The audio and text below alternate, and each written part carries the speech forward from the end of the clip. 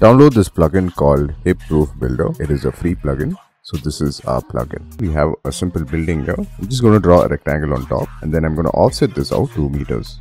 I'm going to select all of this, make it a group, enter the group and delete the faces. And now I'll simply select this face and click on build roof. Now you can give an angle from 35 to 45. So let's give about 40 degrees. So you can see we have a nice roof on top of our building. You can do the same for any face. So select the face, click on build roof, click on build roof. You can do the same here as well. Select the face, click on build roof and click on build roof here. If you want to delete these lines, just enter the group, use the eraser tool, hold shift on your keyboard and then delete those lines. You'll retain the face and simply hide those lines there.